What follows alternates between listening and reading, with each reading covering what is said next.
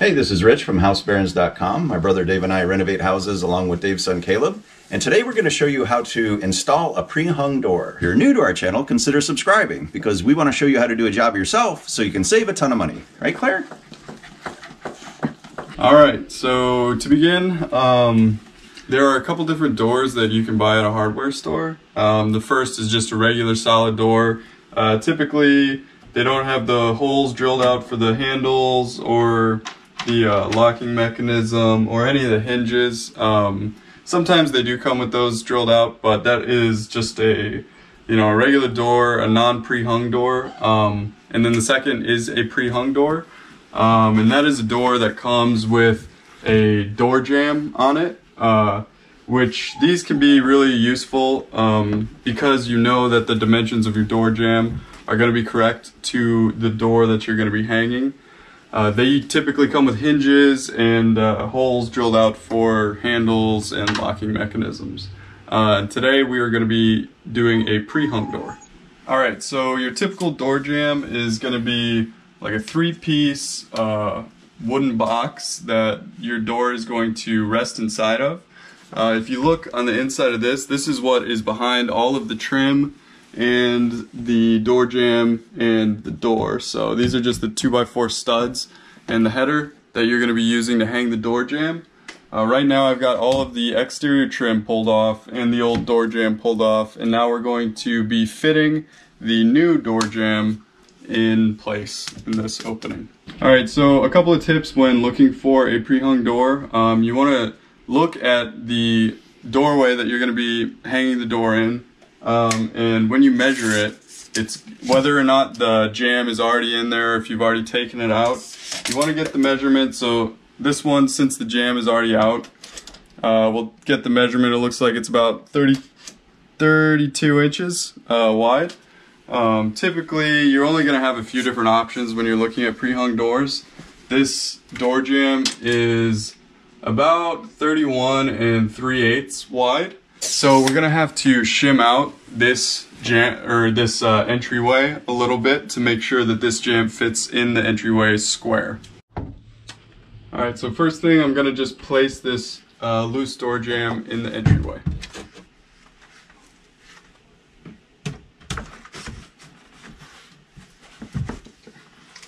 As you can see, there's a lot of gaps left and right and uh, up top. So that's good. Um, you'd rather have more gaps than trying to squeeze it into a space that's smaller. Uh, then your door is never going to fit or close properly. So this way it gives us an opportunity to just shim out the spaces and make sure everything's level and square. So there are a couple different ways to start. You can either start by trying to level out one of the sides, which if you're alone, that's probably your best option. Um, what I like to do is hang the top of the door jamb first. Um, typically, that makes it a little bit easier for me to get these sides uh, parallel to each other. And it also allows me to make sure that the door, when it closes, is not going to scrape on the carpet or the floor. Alright, so I've used this level um, to see how level our header is and if you can see the little bubble, it looks like it is not perfectly level. This side, my, my right side, is gonna have to come down just a bit. Um, so in order to do that, we are going to use these paint sticks. Um, you can use paint sticks or you can actually buy door shims. Um, but this is what we had on hand, so we're gonna use these paint sticks and we're just going to stick them up in this corner and see if that helps out our level situation.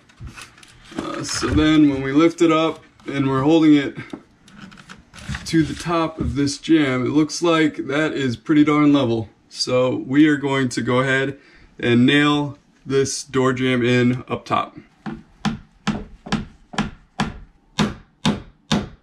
Alright, so now that we have our top nailed in uh, with our shims, uh, we are going to move on to the sides.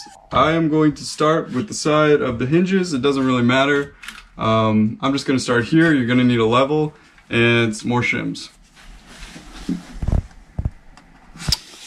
Alright, so it looks like this bottom needs to come in a little bit. And I like to shim the door uh, right around where the hinges are because you can always get a longer screw and uh, screw it into the studs in the wall and that'll help just give the door a little bit extra security.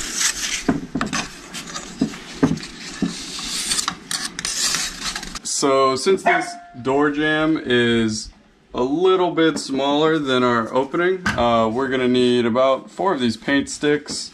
Um, and we're just gonna hold them in there and put some pressure on the jamb and tack it in.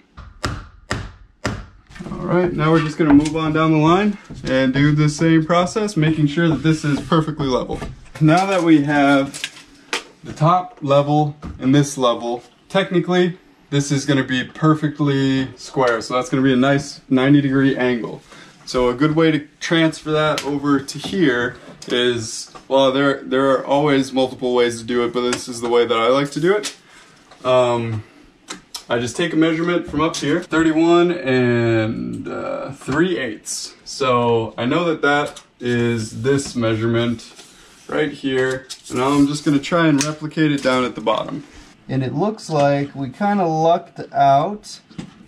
Where the bottom's touching right now is gonna be right where we need it. So I'm gonna go ahead and tack that bottom bit in, but you can see that up here, it's still got quite a bit of bow. So we're still gonna have to use the level and shim that out. We can't just go ahead and start tacking it in.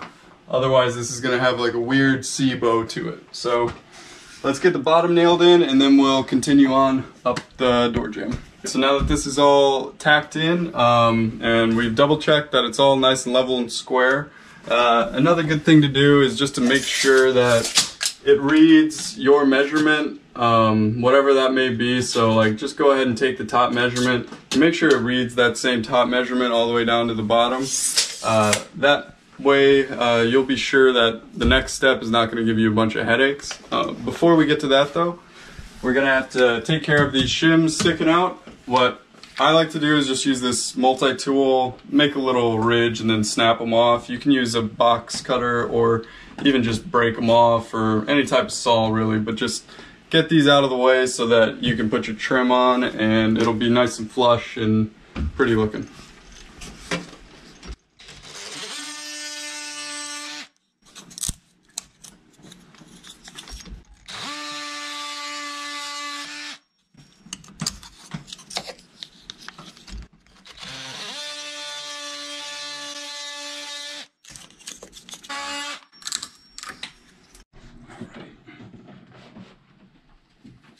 Now you can see we've got these hinges. They should be all lined up because this is a pre-hung door.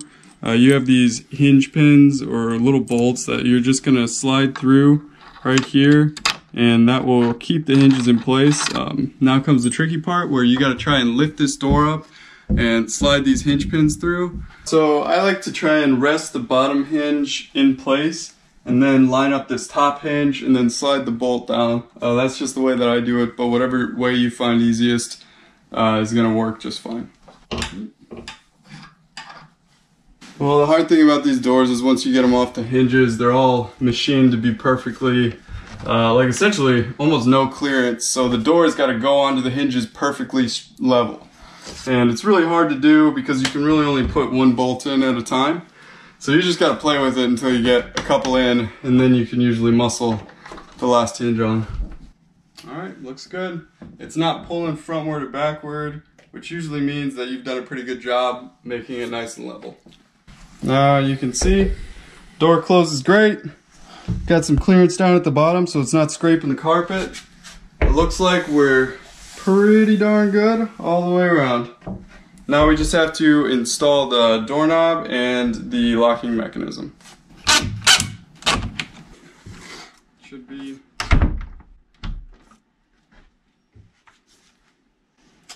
Alright, so now that we've got our door handle installed, uh, we're going to go ahead and move on to putting this trim back on, uh, which if you take your time and pop it off very gently, you can reuse it and you don't have to worry about buying new trim and matching the colors and everything. So now that the trim is up, uh, a couple of finishing touches you'll have to do are you have to go around with the punch, punching all of these nail heads down. Uh, make sure that they're a little bit below the wood level, and then you'll go with a wood putty or something, fill in the holes, sand it flush, and then uh, just do some touch-up staining, and that'll give it a nice even look. Um, and we got our door hung, handle installed, and closes great. Now on to the next door. We hope this helps you install your pre-hung doors. And if you got anything out of the video, please hit the like button. It helps out our channel. And don't forget to subscribe because we have a ton of home improvement videos on the way. Thanks much for viewing, and we'll see you in this video.